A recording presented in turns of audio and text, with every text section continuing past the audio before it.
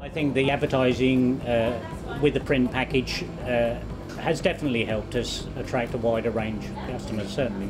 I think since we started advertising on the combined package of digital and normal print methods, we have noticed that we're getting a good cross section of age groups mainly. I think the younger customers we're now starting to attract are probably coming from uh, the more modern digital means. In this day and age, obviously, digital um, advertising is also really important um, and complements the um, the paper advertising. So I think that it's important to have an element of both in any package that you that you do.